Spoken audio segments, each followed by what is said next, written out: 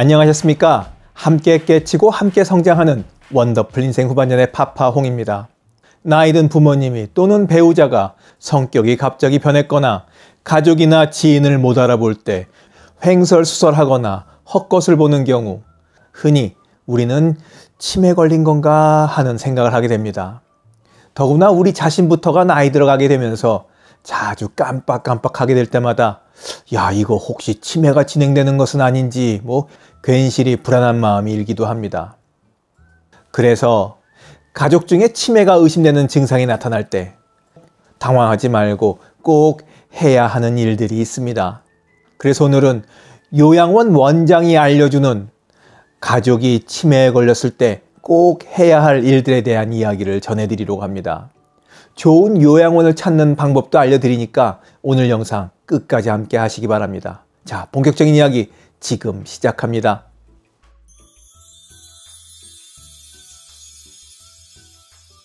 이거 치매가 아닌가 의심되면서도 아니겠지, 아니겠지 하는 마음 또는 정말 병원에 가서 치매라고 그러면 어떡하나 하는 걱정에 겁부터 먹고 해야 할 일들을 하지 않고 있다가 병을 키우는 경우가 허다합니다. 자, 그러지 말고 지금부터 알려주는 순서에 따라 잘 진행해 보시기 바랍니다. 가족이 치매에 걸렸을 때 꼭 해야 할 일. 첫 번째, 검사받고 치매 점수를 받는다. 치매가 의심될 때 1차로 전국에 있는 구 또는 군 소재 보건소 내에 있는 치매 안심센터를 방문해 치매 검진을 받으시면 됩니다. 치매 검진은 만 60세 이상 성인이면 누구나 보건소에서 무료로 치매 검사를 받아볼 수 있습니다. 1차로 아주 간단한 선별 검사를 하는데 점수가 30점 만점에서 23점에서 20점 사이면 치매 전 단계인 경도 인지장애 그리고 19점 이하로 나오면 치매 의심자로 분류하게 됩니다. 경도 인지 장애와 치매 의심자에 한해서 2차 검사를 시행합니다. 2차 정밀 검사에서는 집중력, 시공간 기능, 언어 기능, 기억력, 그리고 실행 기능, 일처리 능력 등 다양한 인지 기능 검사를 종합적으로 살펴봅니다. 2차 정밀 검사의 결과에 따라 보건소와 협약이 맺어진 협약병원에서 뇌의 상태를 보기 위한 CT 촬영, 혈액 검사, 소변 검사 등 진단 검사와 함께 진료를 받을 수 있습니다. 협약병원에서의 검사비는 소득 수준에 따라 정부로부터 지원을 받을 수 있고 지원 범위를 초과하는 추가 검사비는 본인이 부담하셔야 합니다. 이런 과정을 통해 치매 판정을 받게 되고 진단서가 발급됩니다. 그리고 진행 경과에 맞게 치매 치료제도 받습니다. 가족이 치매 걸렸을 때 꼭 해야 할 일들. 두 번째, 치료 관리비를 신청한다. 치매 판정과 함께 언제 끝날지 모를 긴 싸움이 만만치 않게 들어가는 약값과 함께 시작됩니다.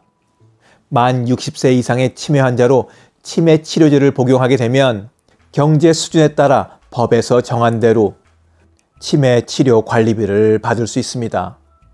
병원에서 발급한 진단서를 가지고 다시 보건소의 치매 안심센터에 가서 치매 치료 관리비를 신청하면 됩니다. 가족이 치매 걸렸을 때 꼭 해야 할 일들 세 번째 장기 요양 인정 신청을 한다. 장기 요양은 크게 둘로 나눌 수 있습니다. 첫 번째가 요양원에 들어갈 수 있는 시설 요양 등급을 받는 것이고 두 번째가 집에서 요양보호사의 방문을 받을 수 있는 재가 요양 등급이 있습니다. 유치원 다니듯이 아니면 학교 갔다 오듯이 아침에 요양시설에 가서 하루를 보내고 저녁에는 다시 집에다 모셔다 드리는 서비스가 있는데 이것을 주간 보호라고 합니다.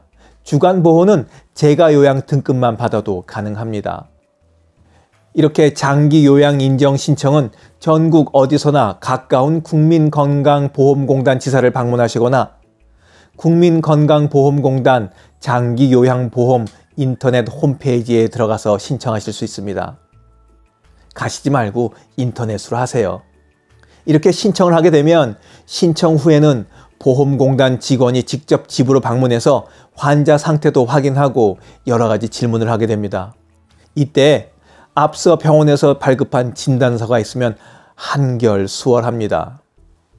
예를 들어서 집에서는 환자를 요양원에 모시고 싶어 합니다. 하지만 보험공단 직원이 보기에는 치매가 있다고는 하는데 정상적으로 보인단 말이죠. 괜찮아 보여요. 정상인 사람을 요양원에 억지로 넣으려고 하는 게 아닌가 하는 의심을 살 수도 있거든요. 이렇게 괜한 오해를 피하기 위해서 진단서를 딱 보여주시면 되는 거고 미리 찍어둔 치매 이상 행동이 녹화된 영상을 보여준다면 제대로 등급을 받을 수 있습니다. 요양원 입소를 원하신다면 집에서 모시기 힘들어 요양원에 모셔야 하니 시설 요양 등급을 달라고 분명하게 말씀하셔야 돼요. 그렇게 하지 않으면 뜻과는 다르게 제가 요양 등급만 나올 가능성이 있습니다. 참 주의하실 점은 병원에 입원했을 경우에는 보험공단에서 직원이 나오질 않습니다. 집에 계실 때만 공단 직원이 방문합니다. 가족이 치매 걸렸을 때 꼭 해야 할 일들. 네 번째, 마지막. 딱 맞는 요양시설을 찾는다. 우선 제가 요양 등급을 받은 경우부터 짧게 말씀드리고 넘어가겠습니다. 치매 초기라서 집에서 가족이 돌볼 수 있다면 방문 요양센터에 연락해서 요양보호사를 집에 오게 할 수 있습니다. 이 서비스의 장점은 뭐니 뭐니 해도 가족들이 자유시간을 갖고 숨을 쉴 틈이 생긴다는 것이겠습니다. 비용도 저렴하고 등급에 따라 다르긴 하지만 하루 30분에서 4시간까지 다양하게 이용할 수 있습니다. 치매 초기를 지나 중기 이상에 접어들면 집에서 보살피는 것보다 요양원에다 모시는 게 환자나 가족이나 모두에게 이롭습니다. 이용 금액은 환자 등급에 따라 달라지고 또 기본은 3인실이나 5인실에 들어가는 거거든요. 하지만 1, 2인실을 원할 경우에는 추가 비용을 부담하셔야 됩니다. 요양원에 대한 부정적인 시각이 많이 퍼져 있는데 그렇다고 좋은 요양원이 아예 없는 것은 아닙니다. 지금부터 요양원 원장이 말씀하시는 좋은 요양원 찾는 방법을 알려드리겠습니다. 첫 번째, 개인 시설보다 법인 시설을 찾으시기 바랍니다.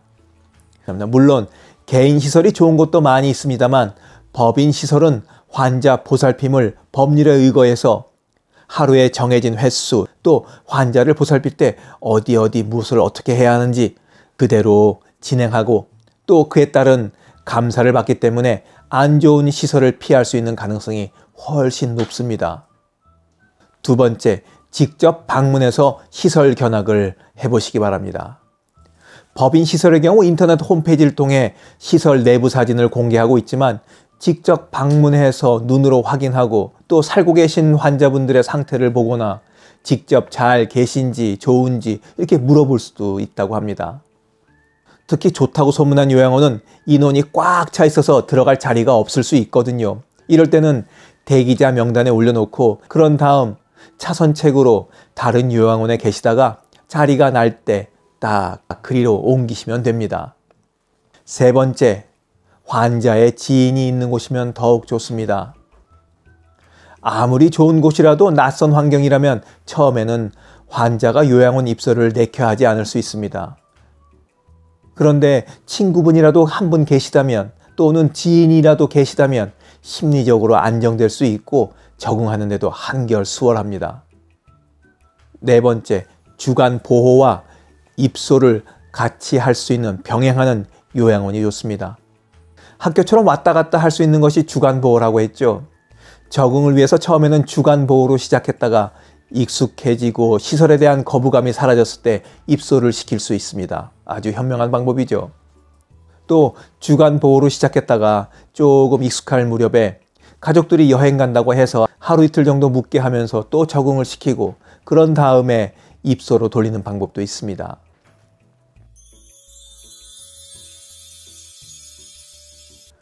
오늘 여러분들과 함께 치매가 의심되는 단계에서부터 요양원 선택과 입소까지 한 걸음에 쫙 살펴봤습니다. 요양원 원장님께서 알려주신 정보니 현실적인 방안들이 많이 들어있어서 꼭 소개해드리고 싶었습니다. 영상을 보신 모든 분들께서 뼈가 되고 살이 되는 정보였기를 바라면서 오늘 이야기 마치도록 하겠습니다. 원더풀 인생 후반전에 건강 이야기는 계속됩니다. 감사합니다. 하루를 충만하게 살아가는 좋은 사람들이 모여있는 곳이 있습니다. 바로 지난 3월 5일에 문을 연 실버들의 전성시대 네이버 카페입니다. 서로를 격려하고 응원해주는 넓은 마음과 나와 다른 생각을 지닌 사람까지 포용할 수 있는 열린 마음을 갖고 계시다면 실버들의 전성시대에 가입하시기 바랍니다. 댓글란 맨 위에 적어놓은 링크를 누르시면 가입할 수 있습니다. 아주 쉬워요.